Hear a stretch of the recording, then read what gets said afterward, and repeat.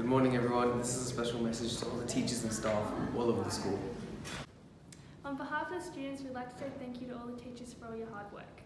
We'd like to thank all the office team to, for keeping us updated and keeping us uh, notified on what's going on. I'd like to say thank you to the cleaners for dedicating your day to keeping our environment safe and hygienic, allowing us to thrive. To the maintenance team, thank you for ensuring that we had a safe environment to come back to, such as the automated drink taps. Even though we don't communicate with you guys directly, we still appreciate your efforts. I'd like to give a special thank you to Mr. Mitchell, our VC coordinator, for always keeping us informed of VCAA's updates and the exam timetables for both year 11s, 12s, and even the year 10s doing accelerated subjects. The work that you do doesn't go unnoticed and we appreciate every single thing that you do for us.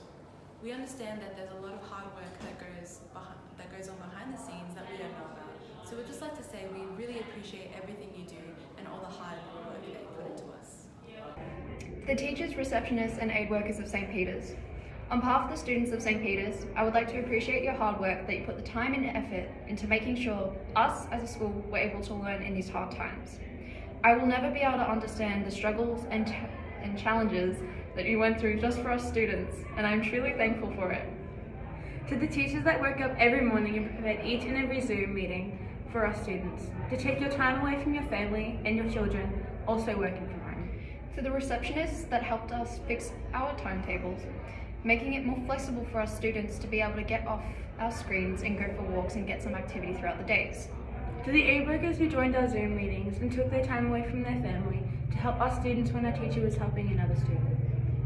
On behalf of the college, students and I, we thank you and appreciate every class time, homework, help and breakout rooms you did for us students to be able to get the same amount of education we needed.